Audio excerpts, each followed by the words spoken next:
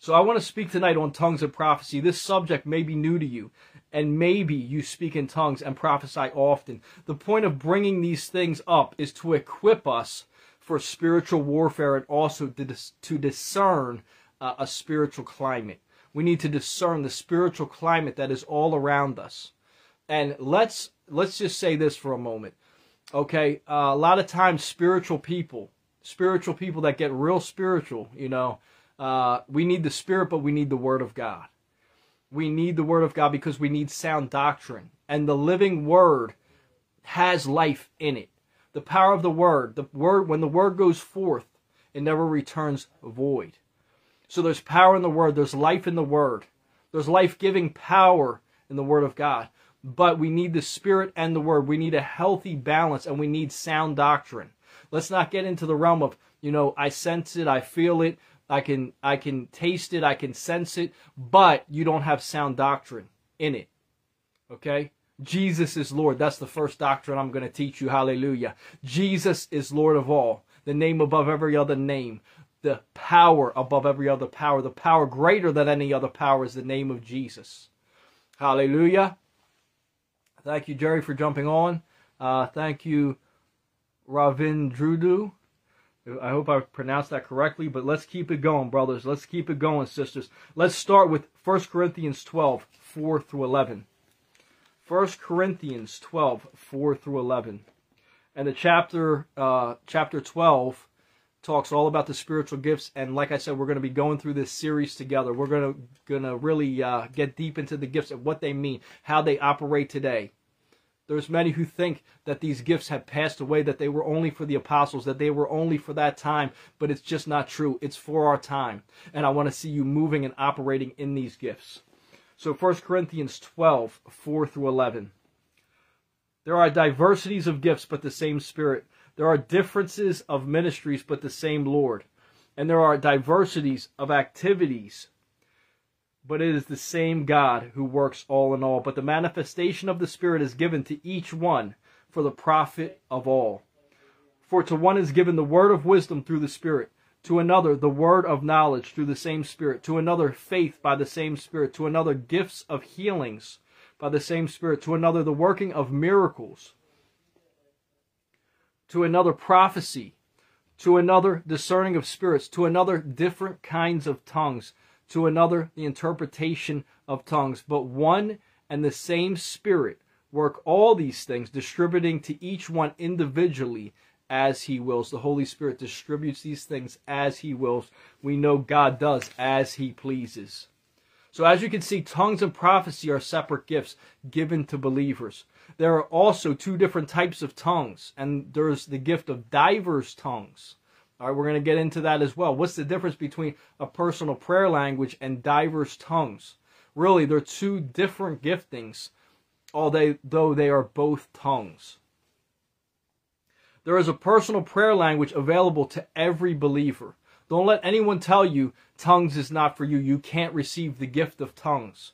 There's tongues available for every believer, but this type of tongues is a personal prayer language that edifies your inner man, it edifies your spirit man, but it also is used in intercessory prayer as you pray for others, as you pray for different situations, and your your words fall short. You don't know what to say, but the Holy Spirit speaks and prays within you for that situation. You begin to utter you begin to utter words that you do not understand, but they are speaking to that situation. You're praying in the Spirit. You know, Paul talks about pray in the Spirit at all times. We need to pray in the Spirit because those things we're praying in the spirit in tongues are addressing the things around us the situations that we don't know what to do in and the situations that we don't know how to handle so this is one type of tongue there is a separate gift of tongues called diverse tongues or different kinds of tongues. Diverse tongues means you speak in another language as a message for the body of Christ. It's not a gift for the individual believer. This type of tongue requires an interpretation, which is yet another gift called interpretation of tongues. So why do I group tongues and prophecy together as our subject tonight? Why do I group them together? The truth is tongues is a form of prophecy. These gifts complement one another. 1 Corinthians 14 2 says, For he who speaks in a tongue does not speak to men but to God, for no one understands him. However, in the Spirit he speaks mysteries. The facts that this verse says he speaks mysteries is proof that we prophesy when we speak in tongues. Prophecy is revealing the unknown among many other things.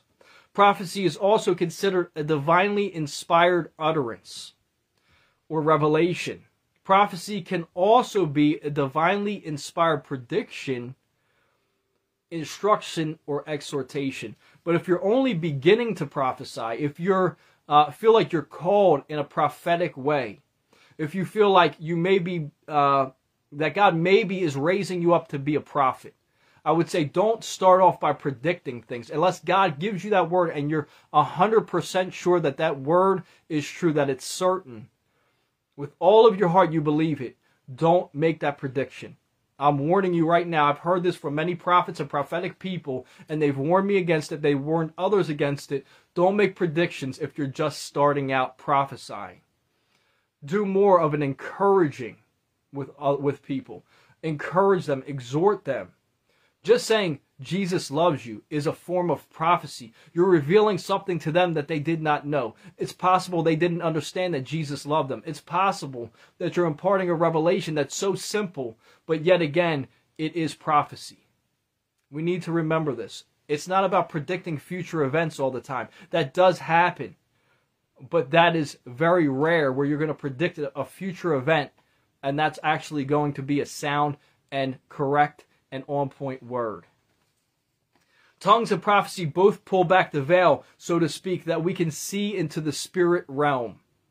Let's focus on 1 Corinthians 14:3. It says, "He who prophesies does three things." Okay, he who prophesies does three things. Number 1, he edifies or instructs. Number 2, he exhorts or encourages. Number 3, he comforts. He comforts. So I had to decline that call. Sometimes I get calls coming in while I'm going live, and I just have to decline them. We're right in the middle of something here. So he comforts. One who prophesies comforts. They bring comfort. You're bringing comfort through edification, or excuse me, through exhortation.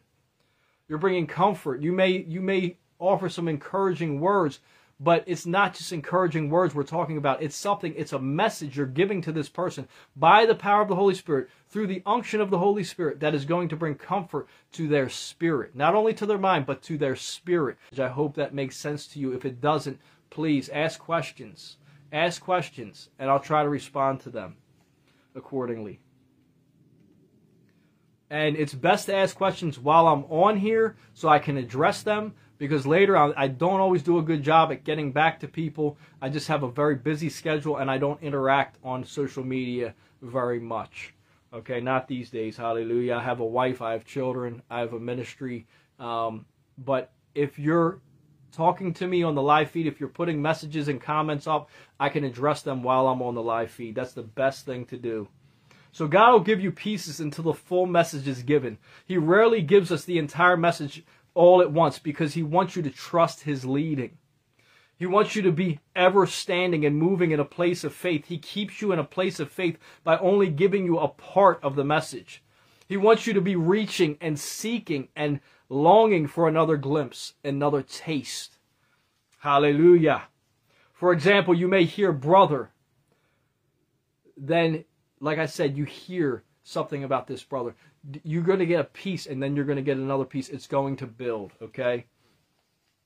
You may be afraid of getting it wrong or, or being embarrassed. We all feel that way at times. We all feel like, you know, I look like such a, a goofball. I look like such a dork going out and saying these things to these people. But you know what? Jesus took he, uh, Jesus took those lashes. He endured the pain. He endured the suffering of the cross.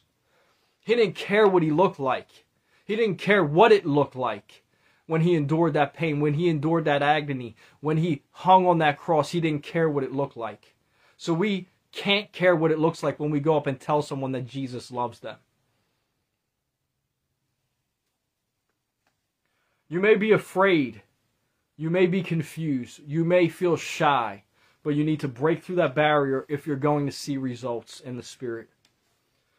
If you want to be effective, you must exercise the gift on a regular basis. Okay, this is another key.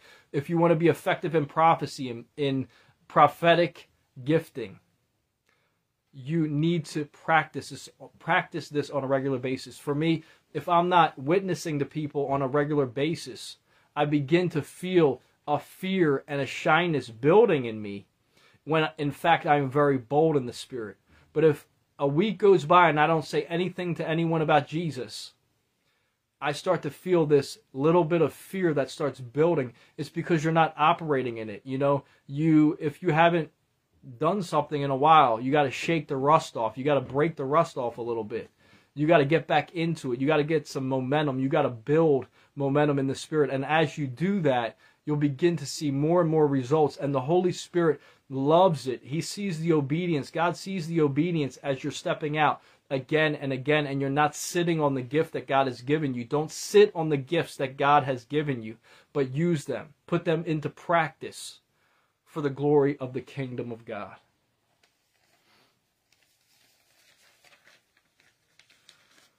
So one should prophesy in the Holy Spirit. Prophecy isn't from the mind, it goes much deeper.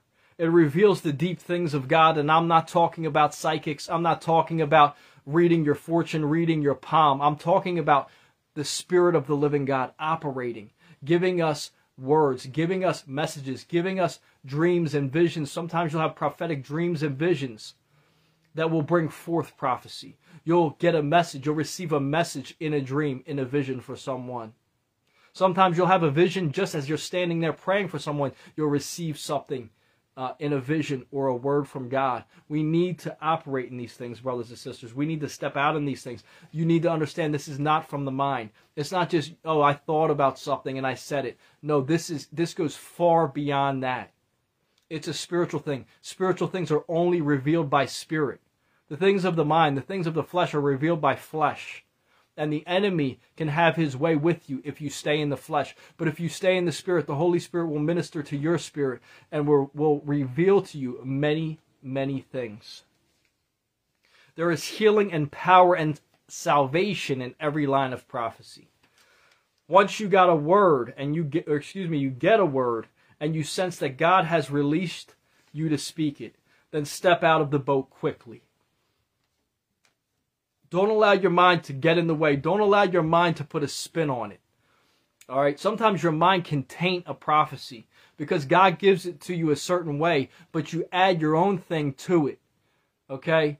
Um, let me give you an example of that. Okay. Say God speaks to me and he says, say to that person, uh, Johnny over there, that he's supposed to possibly look into going to this college. All right.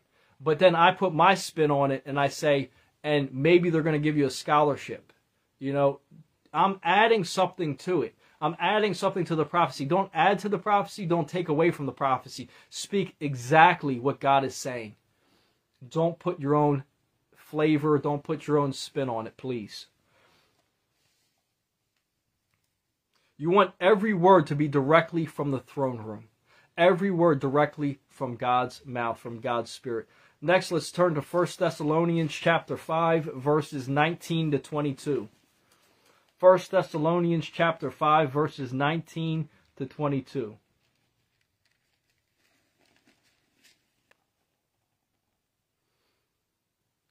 Which reads, Do not quench the spirit. Do not despise prophecies. Test all things. Hold fast to what is good. Abstain from every form of evil. Again, this goes back to consecration. This goes back to setting ourselves apart. This goes back to not quenching the Spirit. We quench the Spirit when we resist the Spirit. When God is speaking something and we think, well, is this really from God? Or we act in the flesh, we speak in the flesh, we speak things that we think are true. No, receive from the Spirit, move in the Spirit, operate in the Spirit, and you will see spiritual results. You will see manifestations of the presence of God. Verses 19 and 20 are written together for a reason. It's because despising prophecies will quench the Spirit of God. Let me say that again. Despising prophecies will quench the Spirit of God. Verse 21 goes on to say, Test all things, hold fast what is good. We need to test prophecies to make sure they line up with Scripture. And I must add that we have to check our motives when delivering a word. We have to check our motives. If you want your motives to be purified, you need to line up with the Word of God. You need to ask Jesus to purify your heart. It's not something you can do on your own. Sanctification, purification is not something that is of us. Again, it's of the Spirit. If you want to know God, God is Spirit. If you want to know Him, you must know His Spirit first. I've seen people give words that are designed to suit a need in the ministry or another area of the church. This type of false prophecy is manipulative and controlling this type of false word is a form of witchcraft. Okay, those who are operating in control manipulation with intimidation, that there's that uh, that coupling.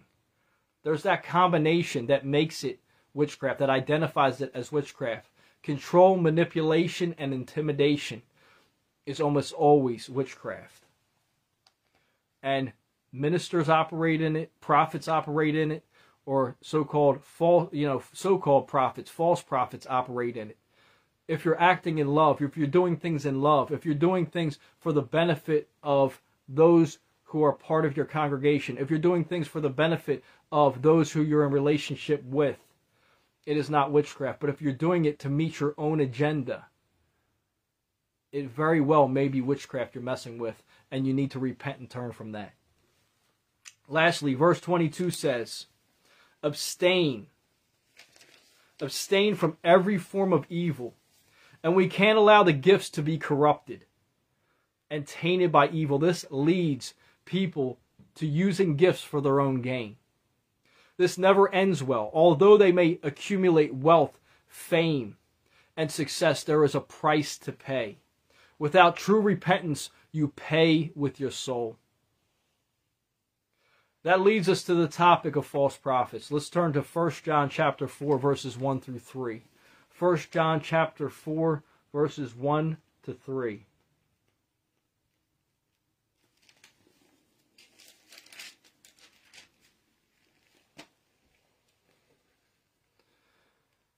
Which says, Beloved, do not believe every spirit, but test the spirits, whether they are of God.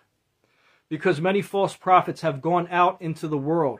But this you know, by this you know the Spirit of God. Every spirit that confesses that Jesus Christ has come in the flesh is of God.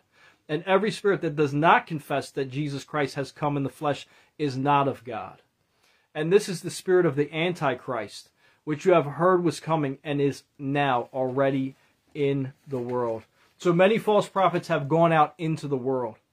We have to use discernment and find out whether the Spirit of God is in operation or a spirit of Antichrist. A spirit of Antichrist will deny the deity and divinity of Jesus. This spirit will also deny the authenticity of God's word pertaining to who Jesus actually is. You know, there's many false gospels that are in the world today. Mormonism, Jehovah Witnesses, and many different strange doctrines that have been uh, devised many things that the enemy has spoken to people that they've taken hold of and believed to be truth, but they are deceived. And this is so important that we get this. It's so important that we get what the Antichrist spirit does. So if you want to know more on it or you want to um, really understand it, it the phrase that I just said, the excuse me, the paragraph that I just said is so important. I'm going to read it again. I just feel led to read it again. A spirit of Antichrist will deny the deity and divinity of Jesus. This spirit will also deny the authenticity of God's word pertaining to who Jesus is. That's what you need to know most about the spirit of Antichrist. On the other hand, the Spirit of God will always bear witness to the Word of God, and He will always bear witness to a prophecy delivered in faith and purity. By purity, I mean holding fast to what is good and abstaining from what is evil.